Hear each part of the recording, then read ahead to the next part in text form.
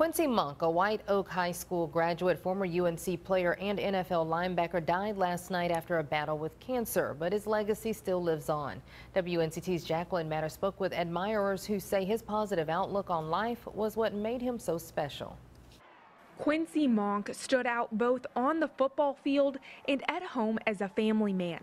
As an athlete with both a tremendous skill and heart, those who grew up with him say his morals never changed really have a lot of fond memories of, of growing up with Q. Jones Angell, the Tar Heels' current play-by-play announcer for Carolina football and basketball, grew up with Quincy in Jacksonville. Yeah, I remember Quincy as a football player, certainly, and he was a great uh, all-around player for White Oak when he played there. While a standout for White Oak High School in the late 90s, after graduation, he played for UNC, where he was a key player focused in on the defensive side of the ball here at Carolina and was really one of the big uh, parts of a really good Carolina defense in 2001. After his time at Carolina, he spent two years with the Giants and later with the Texans.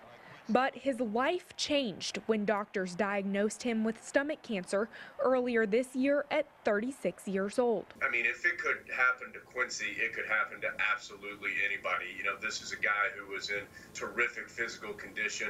Angell says despite Monk's size standing at 6'3 and 250 pounds, he was always one of the kind ones to be such an imposing person, he was such a kind person and had a good heart. Monk died Tuesday due to an infection he suffered following surgery to put stents in his blood vessels that were collapsing after chemo.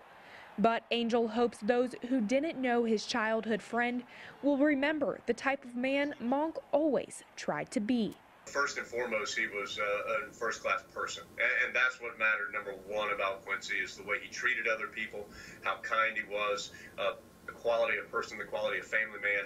That that was the important part, the number one uh, important part about Quincy Monk. He leaves behind his family of two young children, Naomi and Aiden, and his wife, Lisa. In Jacksonville, Jacqueline Matter, 9 on your side. Now, coaches from across the country who met Monk during his time in high school, college, and the NFL have tweeted condolences to Monk's family. Folks at White Oak High School held a moment of silence at their basketball game Tuesday night to honor Monk.